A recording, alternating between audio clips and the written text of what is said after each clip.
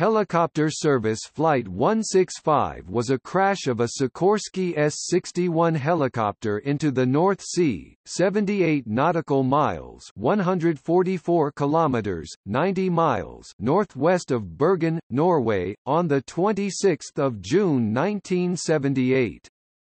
The aircraft was en route from Bergen Airport, Flesland to Statfjord A, an offshore oil platform. The accident was caused by a fatigue crack in a knuckle joint, causing one of the rotor blades to loosen. All 18 people on board were killed in the crash.